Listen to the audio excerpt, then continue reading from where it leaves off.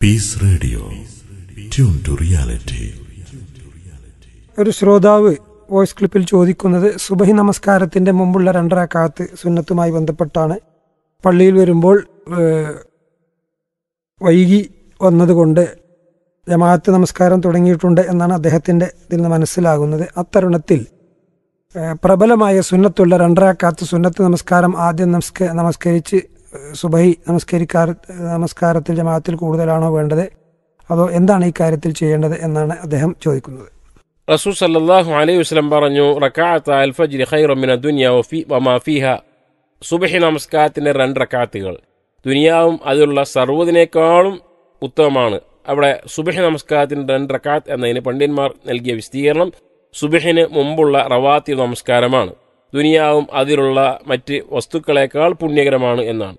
അതേപോലെ തന്നെ ഈ ഒരു കാരണം കൊണ്ടാണ് റസൂൽ സല്ലാഹു അലൈ വസല്ലം യാത്രയിലാകട്ടെ അല്ലാത്ത സന്ദർഭങ്ങളിലാകട്ടെ സുബഹി നമസ്കാരത്തിന്റെ മുമ്പുള്ള രണ്ടരക്കാത്ത് നമസ്കാരങ്ങൾ ഒരിക്കലും ഉപേക്ഷിക്കുമായിരുന്നില്ല.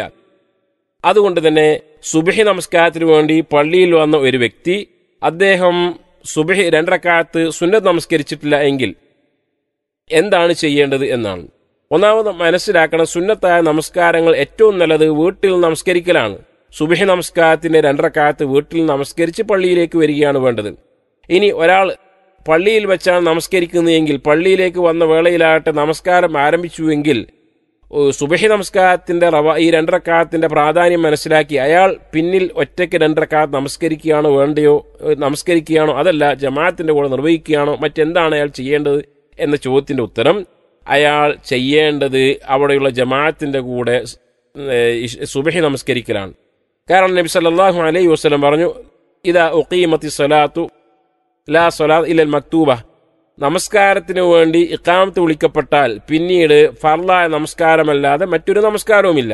അതുകൊണ്ട് തന്നെ ഒരു ഭാഗത്ത് പള്ളിയിൽ ഫർ നമസ്കാരം നിർവഹിക്കുമ്പോൾ മറ്റ് ആളുകൾ അവിടെ തനിച്ച് സുന്നത്തായ നമസ്കാരം നിർവഹിക്കുവാൻ പാടില്ല. ഇങ്ങനെ സുബിഹി നമസ്കരിച്ചതിന് ശേഷം പിന്നീട് അയാൾ ഒന്നുകിൽ തൊട്ട് ശേഷമോ അല്ലെങ്കിൽ നമസ്കാരം നിരോധിക്കപ്പെട്ട സമയം കഴിഞ്ഞതിന് ശേഷമോ സുബിഹി നമസ്കാരത്തിന്റെ രണ്ടരക്കാലത്ത് റവാത്തി നമസ്കരിക്കുകയാണ് വേണ്ടത്.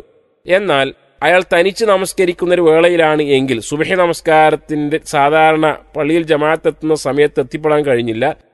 അയാൾ പിന്നീട് വീട്ടിലാണ് നമസ്കരിക്കുന്നത് എങ്കിൽ അയാൾ ആദ്യമേ സുന്നത്തായ രണ്ടക്കാത്ത് നമസ്കരിച്ചതിന് ശേഷം പിന്നീട് ജമാഅത്ത് നിർവഹിക്കുകയാണ് വേണ്ടത്. റസൂൽ സല്ലാഹു അലൈഹി വസല്ലമ തങ്ങളും ബിലാൽ അള്ളാഹുനും അടക്കമുള്ള ഒരു യാത്രാ സംഘത്തിൽ യുദ്ധം കഴിഞ്ഞ് മടങ്ങുന്ന വഴി അവർ സുബഹി നമസ്കാരത്തിന് എണീക്കാൻ വൈകുകയും ആ വേളയിൽ സൂര്യ സൂര്യൻ ഉദിച്ചുയർന്നതിന് ശേഷം എണീറ്റ വേളയിൽ ബിലാൽ അലി അള്ളാഹുവിന്റെ ഹരീത്തിൽ അവർ പറയുന്ന റസൂൽ സല്ലാഹു അലൈഹി വസ്ലം ഉദു എടുത്ത് ആദ്യം സുന്നത്ത് നമസ്കരിച്ചു ശേഷമാണ് പിന്നീട് ഫർലാവുന്ന സുബഹി നമസ്കാരം നിർവഹിച്ചത് എന്നാണ്. ഈ കാര്യങ്ങളാണ് സുബഹ നമസ്കാരവുമായി ബന്ധപ്പെട്ട് പ്രത്യേകിച്ച് റാത്ത്- റവാത്തിബ് സുന്നത്തുമായി ബന്ധപ്പെട്ട് മനസ്സിലാക്കാനുള്ളത്.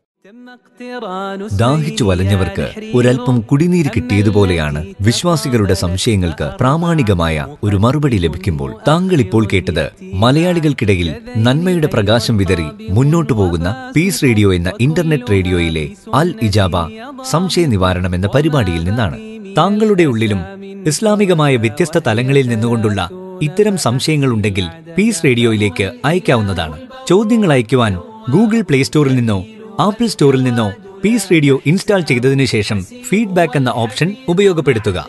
Peace radio. Tune to reality.